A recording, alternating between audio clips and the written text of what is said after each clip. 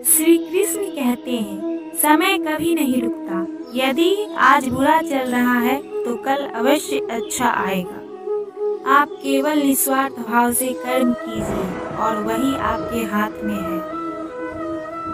वह सब कुछ करो, जो तुम्हें करना है, लेकिन लालच से नहीं, अहंकार से नहीं, वासना से नहीं, ईर्ष्या से नहीं, प्रेम, करुणा, नम्रता और भक्ति के साथ। श्री कृष्ण ने कहा है, जो लोग तुम्हारी बुराई करते हैं, करेंगे। चाहे तुम अच्छा करो या बुरा, इसलिए शांत रहकर अपना कर्म करते रहो। निंदा से मत घबराओ।